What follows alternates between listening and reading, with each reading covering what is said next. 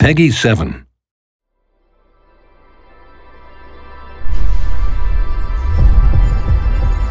Welcome to the video introduction of Deadcore's main abilities. In Deadcore, your journey begins with the double jump. Performing a second jump while suspended in midair will allow you to reach higher and more distant areas of the tower. When well timed, your double jump will also prove useful in dodging incoming threats. The second ability you'll learn is the dash. The dash ability has a dedicated gauge located on your switch gun. The dash gauge replenishes automatically, but beware.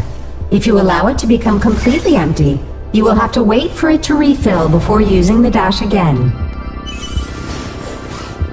Hold the dash key down to cover a single great distance, or perform a rapid succession of dashes, advancing and changing direction as desired between each dash.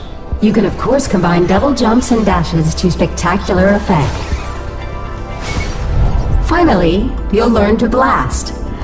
Blasting allows you to charge your switch gun in order to fire powerful energy shots. The more you charge your shot, the more ammunition you'll consume. The blast can be very effective for deactivating multiple targets with one charged shot. But blasting truly shines when used to perform a rocket jump. Firing a blast at the ground beneath you while simultaneously jumping will allow you to propel yourself to new heights. Here you can discover secret segments of the tower, which would otherwise remain inaccessible. Thank you for watching the Deadcore main abilities video. We hope it will help you rise to the top.